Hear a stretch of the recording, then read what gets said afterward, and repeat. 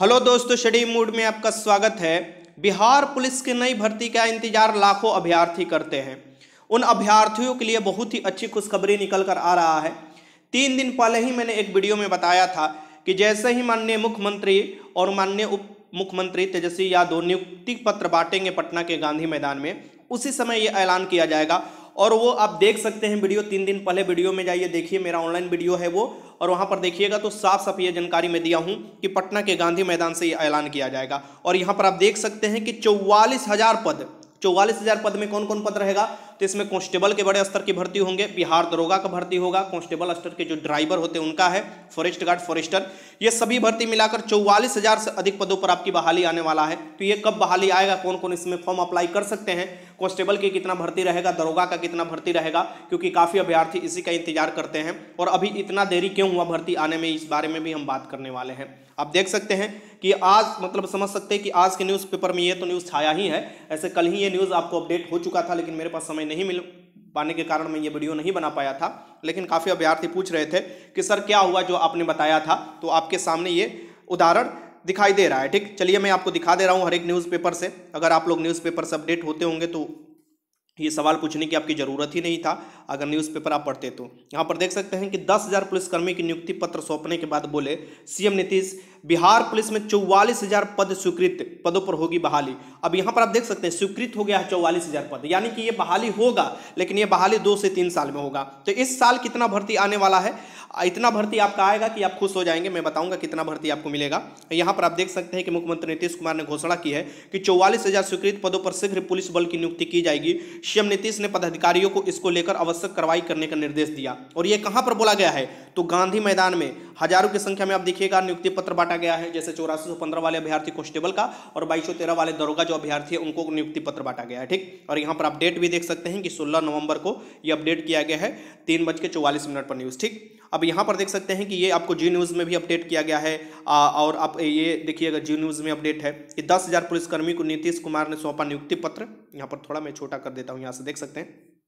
नियुक्ति पत्र और बोले, जल्द होगी बहाली, चौवालीस हज़ार पद स्वीकृत पर बहाली, ठीक? ये भी देख सकते हैं कि 16 नवंबर को है, ये भी आपको अपडेट किया गया है। अगर आप न्यूज़पेपर पढ़ते होंगे तो आज प्रिंटेड न्यूज़पेपर आया होगा, उसमें भी दिया हुआ है। तो काफ़ी अभ्यार्थी बोलेंगे कि सर, न्यूज़पेपर में तो आते रहता है। देखिए अभी जो ये न्यूज़पेपर में आया ऑथेंटिक है और इसे इग्नोर आप नहीं कर सकती क्योंकि इससे पहले सितंबर, अक्टूबर में आपको बैठक हुआ था गृह विभाग का और उसमें ये बड़े स्तर के पद स्वीकृत किए गए थे, जिसमें आप देखिएगा कि और नए पद भी बनाए गए थे, छह सौ नवासी, अभी एक्साइज कांस्टेबल का भर्ती आपको देखने को मिला। अभी एक्साइज दरोगा का भर्ती आने वाला है, फिर आप देखिएगा कि दरोगा का जो ऐसे भर्ती आता है, वो भी आपको दरोगा को भर्ती देखने को मिलेगा। तो यहाँ पर आप देख सकते हैं, नियुक्ति पत्र जब बांटा गया था, जिसके बारे में मैंने आपको सूचना बहुत दिन पहले ही दे दिया था कि बिहार पुलिस कर्मियों में स्वीकृत चौवालीस पदों पर होगी बहाली, जल्द। अब इसके डिटेल्स देख लीजिए। डिटेल्स देख लीजिएगा तो आपको खुद ही समझ में आ जाएगा कि ये एकदम ऑथेंटिक है और आपको बहाली में ज़्यादा दिन नहीं लगेगा। अभी से आपकी तैयारी करनी होगी। तैयारी कैसे कीजिएगा, क्या होगा, वो भी मैं आपको बताऊँगा, ठीक?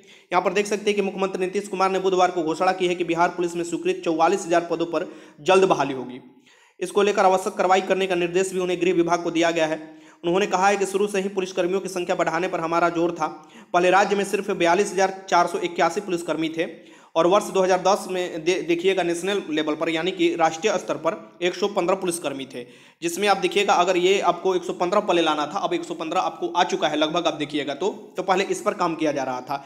अब नेशनल जो हो चुका है 150 से 60 हो चुका है, पहले ही 155 था। 2000 आप देखिएगा 21 में ही 155 हो चुका था। तो 155 से 160 नेशनल मतलब क्या मैं बता रहा हूँ इस पर, कि एक लाख लोगों पर जो पुलिसकर्मियों की संख्या है, वो मैं आपको बता रहा हूँ कि अभी जो है, नेशनल लेवल पर लगभग एक सौ साठ है, कुछ बढ़ ही गया है। और अभी बिहार में देखा जाए तो ये जो है, राष्ट्रीय स्तर से बहुत ही कम है। अभी देखा जाए, एक लाख पर बिहार में। तो वो लगभग पड़ जाते हैं 110 लगभग 110 के करीब आपको पड़ जाते हैं, पुलिसकर्मियों की संख्या एक लाख पर। तो उसे आप देखिएगा, ये 2010 में ही एक से 115 करना था, जो कि लक्ष्य अभी अभी पूरा ये हुआ है, जो ये नियुक्ति पत्र बटा है। तो तो अब अब इनका क्या लक्ष्य है?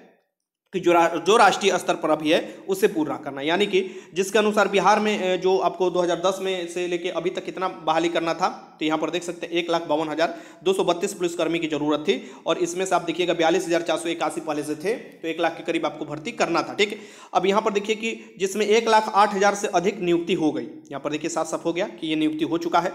अब मुख्यमंत्री बुधवार को गांधी मैदान में नौ नियुक्ति दस कर्मियों की नियुक्ति पत्र वितरण कार्यक्रम को संबोधित कर रहे थे। मुख्यमंत्री नीतीश कुमार ने और उप मुख्यमंत्री तेजस्वी यादव ने नियुक्ति पत्र कर्मियों को सौंपा।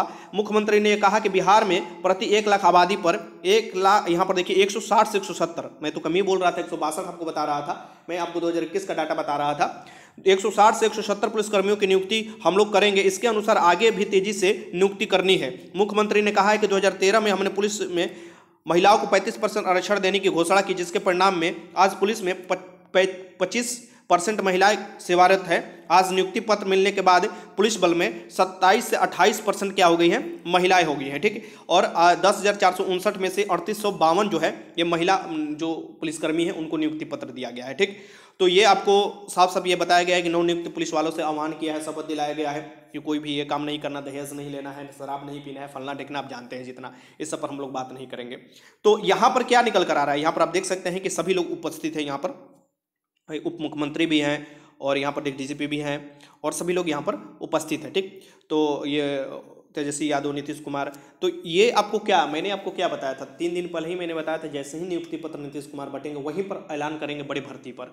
अब आपको देखिएगा कि मैं बता रहा था कि बारह हज़ार से अधिक, यानी बारह हज़ार प्लस सात सौ मतलब बारह हज़ार सात सौ से अधिक पदों पर नियुक्ति इस बार बिहार पुलिस को जो कॉन्स्टेबल है और उसका भर्ती का 2023 में नियुक्ति पत्र वितरण करना है। यानी कि 2000 अभी जो चल रहा है, क्या है? 2000 अभी 22 है। 2023 में देखिएगा कि भर्ती लास्ट 2023 तक कंप्लीट करना है 12700 पर तो वो सी एस करेगा, क्योंकि उसी के अकॉर्डिंग आपको परीक्षा लेता है फ़िज़िकल होता है, फिर नियुक्ति पत्र बांटा जाता है।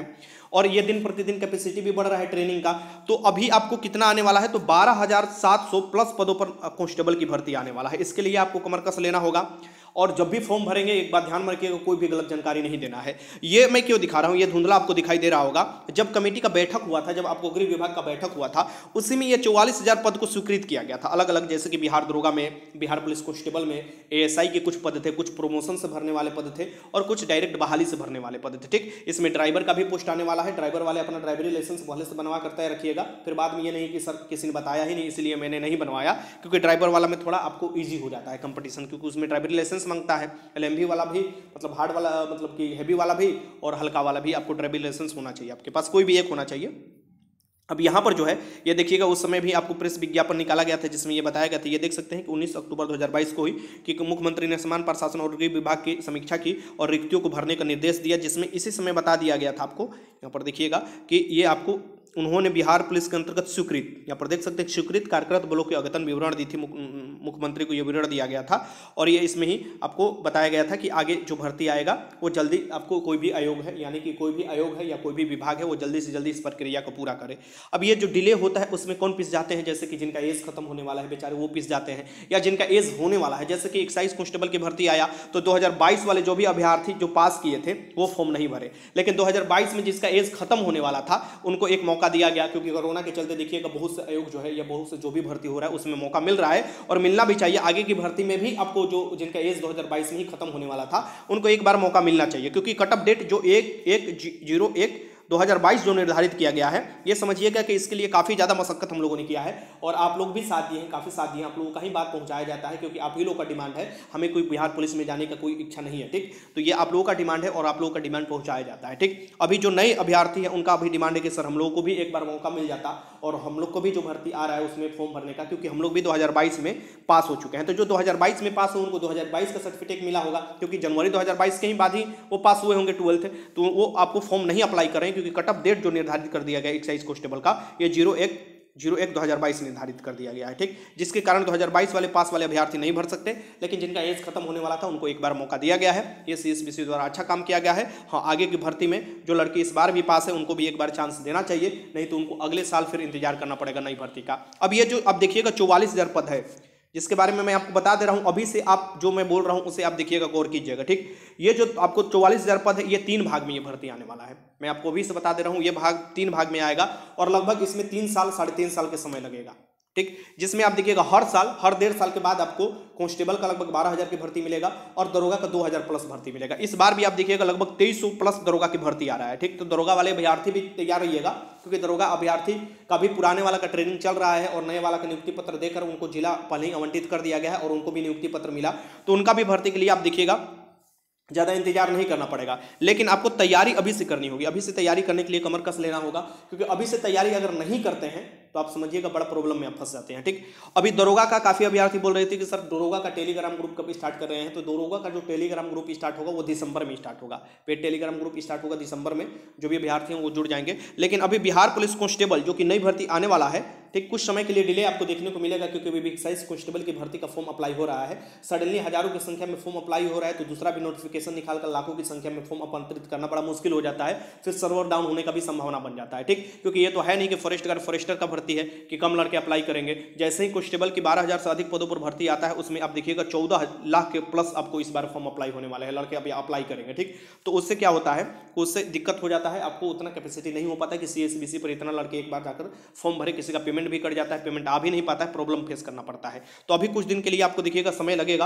अभी कुछ दिन डिले होगा, लेकिन नई भर्ती आपको ज़रूर मिलेगी, इसी साल मिलेगा और आप लोग सभी लोग फॉर्म अप्लाई कीजिएगा, ये बात ध्यान में रखिएगा, ठीक? जो आपको कॉन्स्टेबल का होता है, वो आपको ट्वेल्थ पर होता है और इसमें जो क्वेश्चन पूछे जाते हैं, टेंथ लेवल का होता है। और जो आपको दरोगा का होता है, ये ग्रेजुएशन पर होता है। और ग्रेजुएशन यानी कि B A B S C B com कुछ भी आप किए हैं बीटेक किए हैं, वो फॉर्म अप्लाई कर सकते हैं। और इसका भी एग्ज़ाम देखिएगा अच्छा खासा लेवल बढ़ाया जा रहा है दरोगा का। और दो पेपर होता है पीटी में पास कीजिएगा तो फिर मेंस देना पड़ता है। और मेंस वाले पेपर पर दो पेपर होता है, एक सामान्य हिंदी का पेपर जिसमें पासिंग तीस तीस परसेंट लाना पड़ता है सामान्य हिंदी के पेपर में। और फ़र्स्ट वाला जो पेपर होता है, ये सामान्य हिंदी का ही पेपर होता है। सेकेंड वाला पेपर सामान्य ज्ञान का पेपर होता है मेंस का। और जो ये मेंस में अपना मेरिट लिस्ट आपको बनाना पड़ता है, ये सेकेंड वाला पेपर पर जो सामान्य अध्ययन का पेपर होता है और इसमें सौ क्वेश्चन पूछे जाते हैं, जिसमें मैथ, रीजनिंग का भी लगभग पच्चीस क्वेश्चन देखने को मिलता है। जबकि पीटी में आप देखिएगा भी सौ क्वेश्चन पूछे जाते हैं, एक क्वेश्चन दो नंबर का होता है, ज़ीरो पॉइंट टू अंक का इसमें निगेटिव होता है, एक क्वेश्चन पर दो अंक मिलता है, ठीक? तो मैं जल्दी जल्दी आपको पूरा सिलेबस बता दिया कि कैसे आपको तैयारी करना है। सिलेबस की बात करें, दरोगा के लिए सिलेबस आप जानते हैं कि साइंस और मैथ ये बहुत महत्वपूर्ण भूमिका मेंस में निभा रहा है और पीटी में साइंस और करंट अफेयर महत्वपूर्ण भूमिका निभा रहा है। किसे इग्नोर नहीं कर सकते। तो पहले पीटी में बीस गुना रिज़ल्ट होता है दरोगा का और फिर उनको मेंस की चांस दिया जाता है। फिर आप देखिएगा कि मेंस में जितना आप वो स्कोर करते हैं, उसके बाद फ़िज़िकल में आपको मेंस का जब रिज़ल्ट आता है तो फ़िज़िकल पास होते हैं तो फिर मेरिट लिस्ट निकाला जाता है। तो स्कोर अच्छे से करना होगा, उस लेवल की आपको तैयारी करनी होगी कि कंपटीशन दिन प्रतिदिन बढ़ते जाता है बढ़ रहा भी है, लाखों की संख्या में अभ्यर्थी बढ़ रहे हैं तो उसका आपको परिणाम भी देखिएगा कि कट ऑफ़ दिन प्रतिदिन बढ़ रहा है। तो सी और बीपीएसएससी से एक बार रिक्वेस्ट ये है कि ज़रूर अपना एज में जो लड़कों को छूट मिल रहा है, वो कभी बरकरार रखेंगे, क्योंकि लड़कों को एज में छूट मिलेगा तभी आगे का फॉर्म अप्लाई कर पाएँगे। और इसमें लड़कों का गलती नहीं है, नहीं कोई आपको देखिएगा किसी का गलती मैं नहीं बोलूँगा, लेकिन छूट ज़रूर मिलना चाहिए, क्योंकि कोरोना के चलते ही सभी भर्ती डिले आपको देखने को मिला है, ठीक? तो बाकी आप कमेंट बॉक्स में कुछ भी बताना चाहे तो बता सकते हैं। हाँ मैं यहाँ पर बता दूँ कि जो भर्ती आने वाला है एक बिहार पुलिस कांस्टेबल और जो अभी फॉर्म अप्लाई हो रहा है, इसके लिए 20 नवंबर से आपको टेलीग्राम का ग्रुप स्टार्ट हो रहा है, ठीक? सो टेलीग्राम के ग्रुप में मैं पीडीएफ देता हूँ, डेली होमवर्क देता हूँ और वहाँ पर क्यूज़ कराता हूँ। और ये सिर्फ़ यही मिलता है, आपको वीडियो नहीं मिलता है, ठीक? वीडियो आपको लेने के लिए अभी आपको काफ़ी इंतज़ार करना पड़ेगा, उस पर काम मैं कर रहा हूँ, ठीक? तो ये आपको मिलता है और इसी के थ्रू मैं आपको तैयारी करा देता हूँ, उसका फ़ी है वन तो ये कैसे आप ज्वाइन कीजिएगा टेलीग्राम ग्रुप? चलिए मैं बता देता हूँ और इसी ग्रुप में आप देखिएगा कि क्या होता है कि आपको फुल मॉक टेस्ट भी मैं दूँगा और दोनों बिहार पुलिस कांस्टेबल और बिहार एक्साइज कॉन्स्टेबल दोनों की तैयारी में कराऊँगा। वो वन नाइन्टी में और फुल मॉक टेस्ट भी मिलेगा सेक्शनल मॉक टेस्ट भी मिलेगा फुल मॉक टेस्ट तीस मिलेगा सेक्शनल जो सब्जेक्ट वाइज टेस्ट टेस्ट मिलेगा वो भी तीस आपको मिलेगा और डेली जो टेस्ट पचास क्वेश्चन के मिलेगा पीडीएफ वो तो अलग ही है। बाकी सब्जेक्ट वाइज भी आपको जैसे ही सब्जेक्ट कोई भी खत्म होता है वो भी। तो पूरा सिलेबस मैं खत्म करा रहा हूँ और आप सभी को पता है कि एक्साइज कांस्टेबल की एग्ज़ाम जो प्रस्तावित है, उनतीस जनवरी को प्रस्तावित है तो उससे पहले आप सिलेबस खत्म करना चाहते हैं और अच्छा स्कोर करने के लिए जुड़ना चाहते हैं तो टेलीग्राम ग्रुप ज़रूर ज्वाइन कर लीजिए। मात्र वन फ़ी है और फ़ी कर कर आपको स्क्रीन भेजना है और अपना टेलीग्राम नाम और अपना टेलीग्राम नंबर भेजना है। तो किस पर आपको फ़ी पेमेंट करना है? टेलीग्राम जो पेड ग्रुप है, इसका फ़ी मात्र एक सौ निन्यानवे रखा गया है। आप सभी लोग जान रहे हैं कि मटेरियल बनवाने में भी पैसा लगता है और आप ही लोग के कहने पर इतना फ़ी रखा गया है, एक सौ निन्यानवे रुपया, ठीक? तो आपको क्या करना होगा, ये एक सौ निन्यानवे रुपया गूगल पे फ़ोन पे या पेटीएम के माध्यम से इस नंबर पर पे करना होगा। इस नंबर पर पे कीजिएगा और उसका स्क्रीनशॉट ले लीजिएगा। जो पे कीजिएगा स्क्रीनशॉट लेकर इसी नंबर पर आपको व्हाट्सएप करना होगा। जिस नंबर पर पे कीजिएगा, उसी नंबर पर व्हाट्सएप है। आप अपना व्हाट्सएप कर दीजिएगा। साथ में आपको क्या लिखना होगा तो आपको जो भर्ती, जैसे कि बिहार पुलिस कांस्टेबल और एक्साइज कांस्टेबल आप लिख सकते हैं। साथ में आप अपना क्या लिखिएगा, यहाँ पर ध्यान रखिएगा, ये मैं आपको बता दे रहा हूँ कि ये पेड जब आप ग्रुप ज्वाइन करेंगे, यानी कि कैसे हो पाएगा तो फ़ी जब पे करेंगे एक सौ निन्यानवे रुपया, उसका स्क्रीन लीजिएगा और वो स्क्रीन आप भेज दीजिएगा व्हाट्सएप के माध्यम से। साथ में अपना नाम और अपना टेलीग्राम नंबर तथा टेलीग्राम पर जो नाम है, वो भी भेज दीजिएगा। जैसे टेलीग्राम पर कोई तो नाम आप सेट किए होंगे ना, वो नाम भेज दीजिएगा। फिर आपको एक लिंक दिया जाएगा, उस लिंक के थ्रू आप ज्वाइन हो जाइएगा, ठीक? फिर से मैं आपको बता रहा हूँ कि जो आप स्क्रीन भेजिएगा देन आप स्क्रीन भेजते समय व्हाट्सअप करते समय अपना नाम, ठीक, अपना टेलीग्राम नाम और अपना टेलीग्राम नंबर भेज दीजिएगा कि आपको टेलीग्राम ग्रुप में ऐड कर दिया जाएगा।